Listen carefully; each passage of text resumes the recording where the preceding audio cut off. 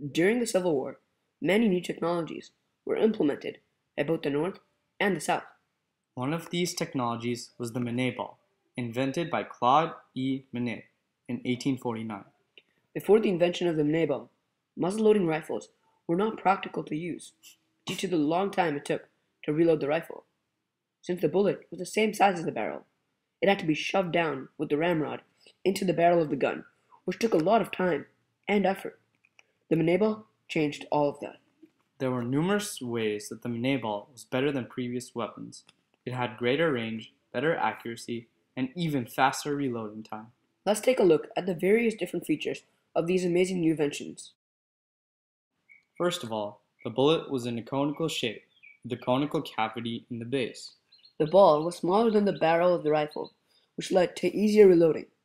To reload the gun, a soldier had to ram the bullet into the charge, and when the charge exploded, it sent the bullet flying. Also, when shot, the bullet expanded from the gases and heat caused by the burning of the gunpowder. This shape of the ball led to greater range and greater accuracy. The cavity in the base helped to keep the gases contained. If the gases were contained, then it would give more power to the ball, giving it more speed. When the ball began moving, it caught the grooves of the barrel, causing it to spin, much like a football.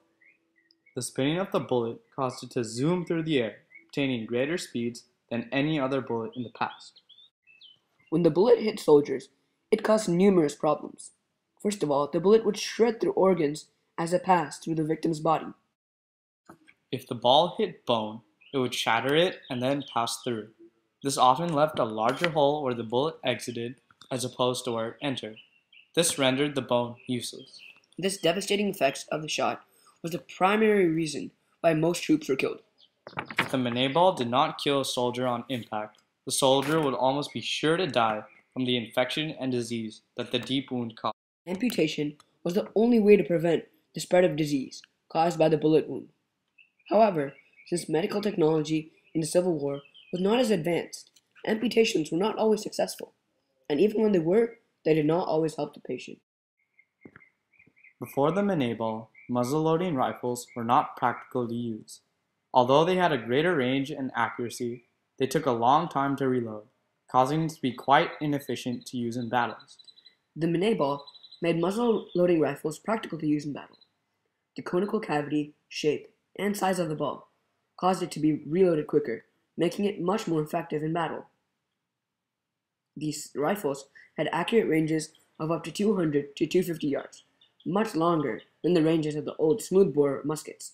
Those could only fire up to 100 to 150 yards. Now, let's take a closer look at how muzzle loading rifles were able to be reloaded much quicker. In previous weapons, only about 5 to 10 shots could be fired per minute. But with the mini ball, with the Minié ball in muzzle-loading rifles, this increased to 20 to 30 shots per minute because of the smaller size of the bullet. This not only increased casualties, but also increased the pace of the war, compared to the slow pace of the wars in the past. By fast pace, we mean that battles ended much faster, as troops were also killed much quicker. However, even though the technology had been improved, battlefield tactics had not. Two opposing forces would still march towards each other in tight formations until they were very close together and begin firing. You see, this plan worked perfectly fine with the old muskets, but with the new rifles, this was a much different matter. At such close range, the muzzle-loading rifle devastated troops. Due to the new Minié ball, casualty rates soared to an unprecedented high. In this way, the weapons of the war were way ahead of the tactics in the war. Lastly, the Minié ball directly affected the outcomes of battles. The defenders almost always had the advantage in battles during the Civil War. Since the muzzle-loading rifles could not be used efficiently, defenders simply had to wait for the charging attackers to come into range. Then they could pick them off easily. Throughout the Civil War, technological advancements in weapons were cutting edge. The Minié ball was one of the most significant of these advancements. Not only did it directly affect the outcome of the war, but it completely changed the way wars were fought for many, many years to come.